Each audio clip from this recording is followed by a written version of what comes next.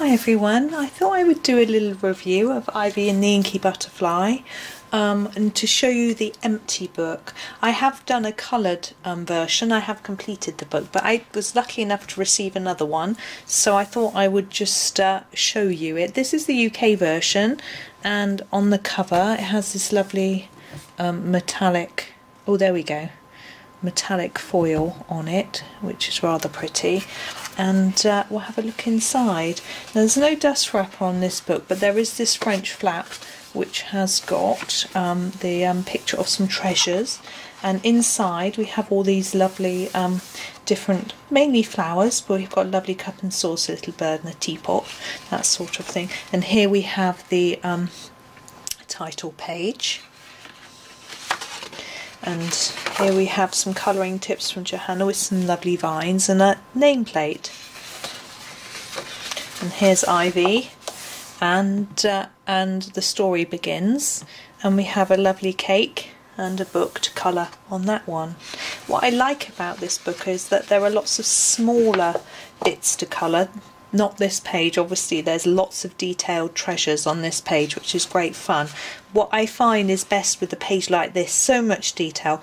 Pick one thing ship in a bottle. Just concentrate on that colour that and then pick something else. Maybe this uh, this jug um, goblet, I mean, and colour that. Don't think about the whole page at once, or else you get yourself into a bit of a fluster.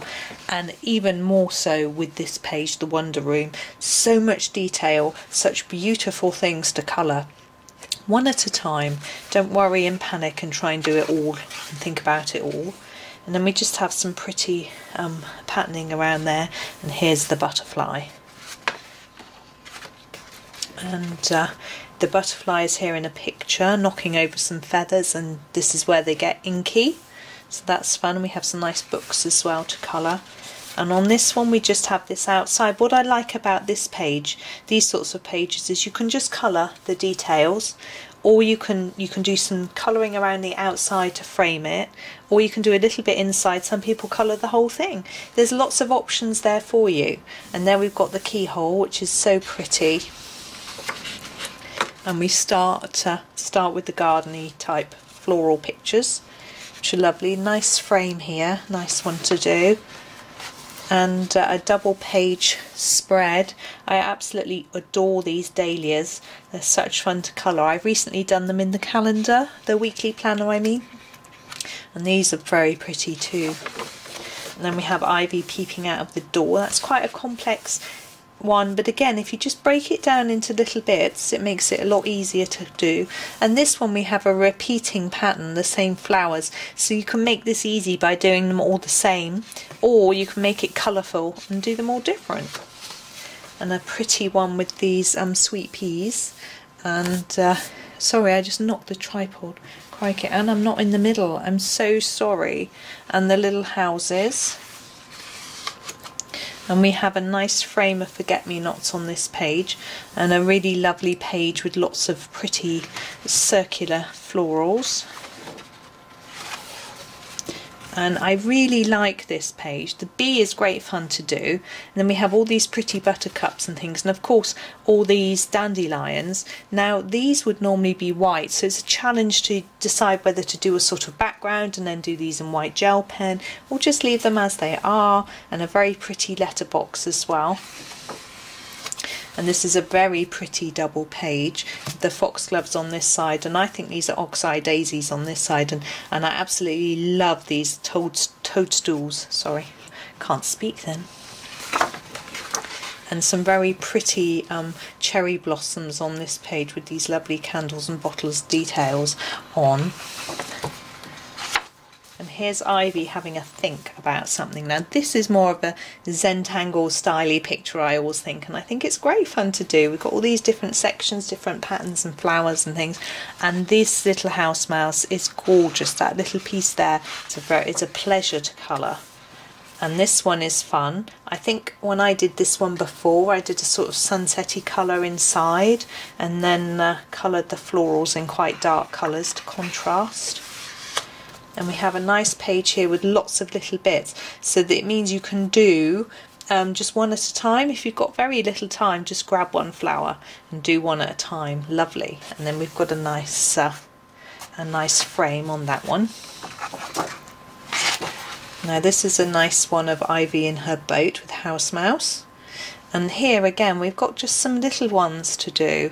So that's nice. These are the sorts of ones that I sort of pick out to do videos for, I suspect. And we have lovely houses on the water. I like those. And another sort of different type of frame.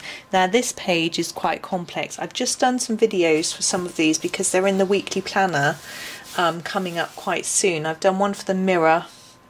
Um, what did I do? I did the medal and the crown. So that hopefully get you going on that page. But I could do some of the other things maybe um, when when I uh, get round to doing some more on this book.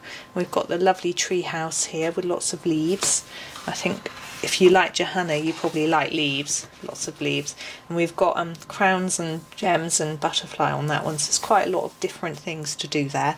And on this one again we've got a lot of um, precious gemstones and things and here we've got all these brooches.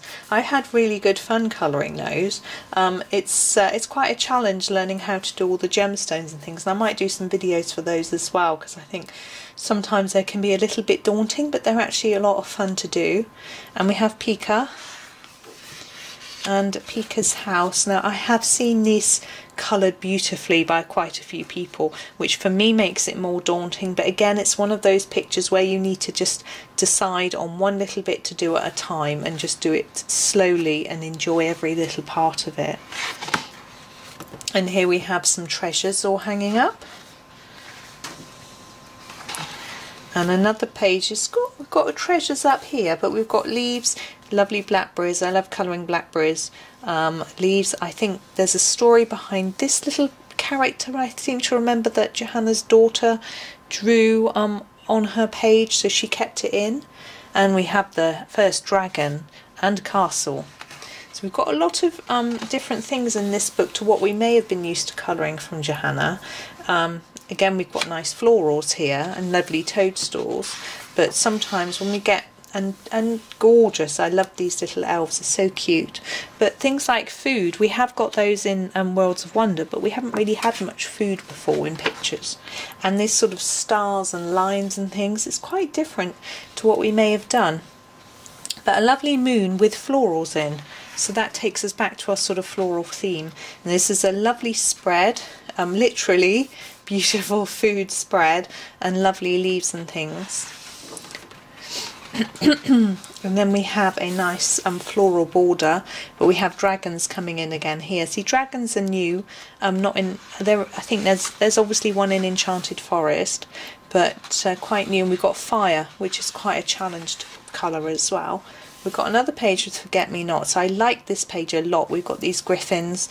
We've got a lot going on, different things to play around with and have fun with. And again, this one, I enjoyed this because we've got the blackberries, which I just love to colour.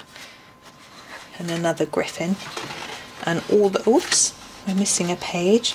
This one's really different. We've got the rainbow, and we've got beautiful clouds and a hot air balloon. It's quite different to the rest of the book. I think it's quite fun. And a lovely bee with all sorts of little details in and loads of other bees here. And of course you can colour them all the same or you can do them all different. You could do multicoloured or you could just stick to sort of traditional bee colours. Now this page is attractive to me as well for videos because we've got lots of little bits and pieces going on. So uh, I might pick some of those. I particularly love that door. I like colouring doors. And we have some again we have the tree house a different tree house this time but we have uh, florals and a lovely cute owl. And the uh, the lovely pots these are fun to do with the sort of background in here maybe. And it's a bit less daunting than perhaps doing the whole thing.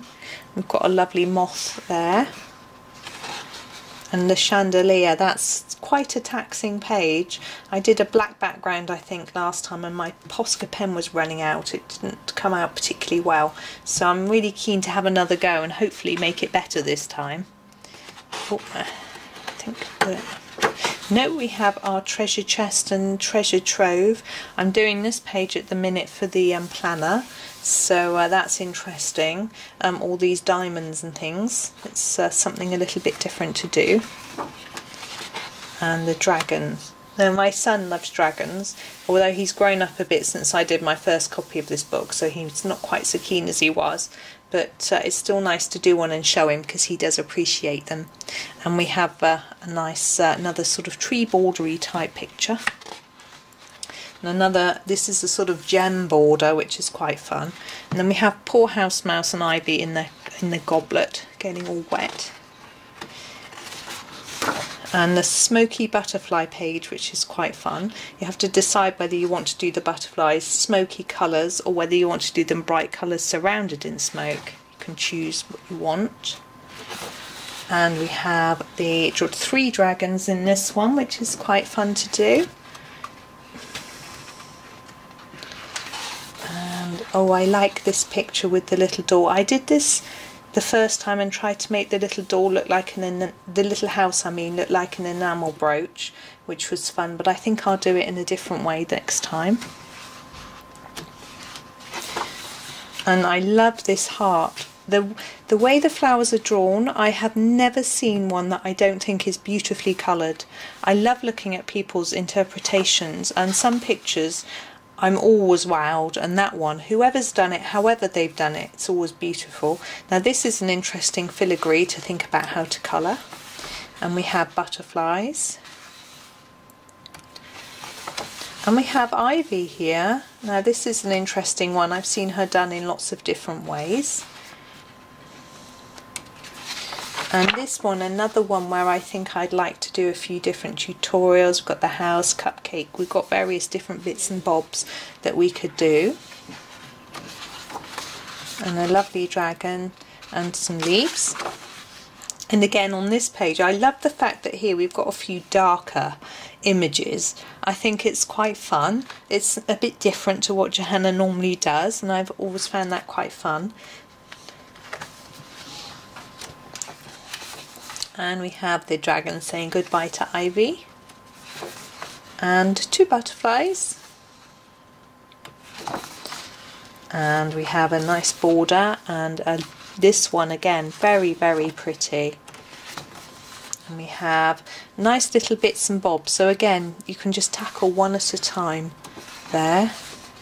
And there we have our mushroom and a very pretty end page there and that's the end but we still have our colour palette test page. Mine's a bit rough on the edge which is a bit strange. And we have the same inside the flap as on the front. I think that I don't know if that's the same as on the front flap.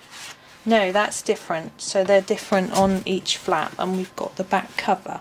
So that's Ivy.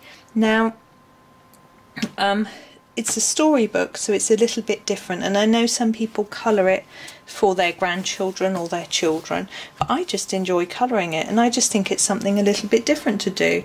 So there we are, there's Ivy. So thank you very much for watching. Hope you enjoyed the video and the little flip through and happy colouring.